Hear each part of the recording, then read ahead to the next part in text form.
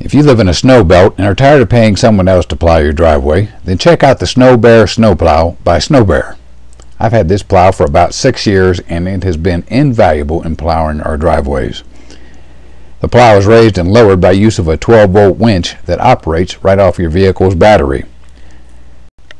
The wired controller mounts inside your vehicle window for easy access or you can get the wireless version.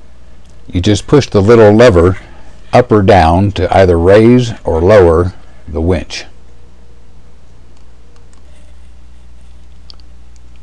Here I am plowing what our friends fondly refer to as Killer Hill.